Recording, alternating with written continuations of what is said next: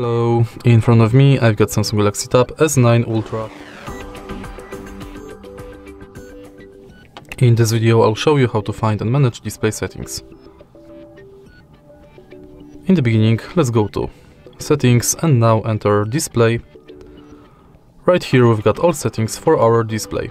Let's start with the top of the list where we can change display mode between light and dark and also we can schedule the dark mode. Next we can change brightness level of the screen manually or via adaptive brightness. Next we can change motion smoothness of the screen between adaptive and standard. Enable or disable eye comfort shield. Change screen mode between vivid natural and white balance.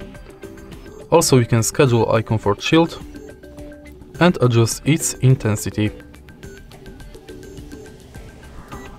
Next we can change font size and style and enable or disable bold font. Then we can change screen zoom, hide notch in apps, enable or disable smart sidebar and taskbar. Then we can change and manage navigation bar between buttons and swipe gestures.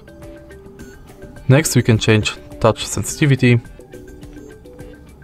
and enable screensaver. And that's basically it for display settings.